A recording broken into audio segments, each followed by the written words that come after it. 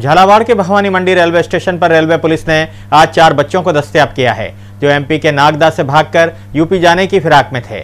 मामला झालावाड़ भवानी मंडी का है, जहाँ नागदा में एक मदरसे में पढ़ने वाले या छोटे छोटे चार बच्चों को मदरसों में पिटाई की जाती थी। ये सभी बच्चे उत्तर प्रदेश के रहने वाले हैं और हाफिज बनने के लिए यूपी से एमपी के नागदा मदरसे में गए थे। वहाँ इनके साथ लगातार पिटाई के बाद सभी बच्चों ने भागने का प्लान बनाया और मदरसे से भागकर दिल्ली वाली ट्रेन में बैठ गए। लेकिन भवानी मंडी में रेलवे पुलिस को इनकी सूचना मिल गई और इनको पुलिस के माध्यम से झालावाड़ के बाल कल्याण समिति को सौंप दिया, जहाँ अब इनसे काउंसलिंग की जाएगी और इनके परिवार को सूचित किया जाएगा। ये मुरादाबाद के रहने वाले हैं, यूपी के। तो ये वहाँ से निकल गए नागदा से।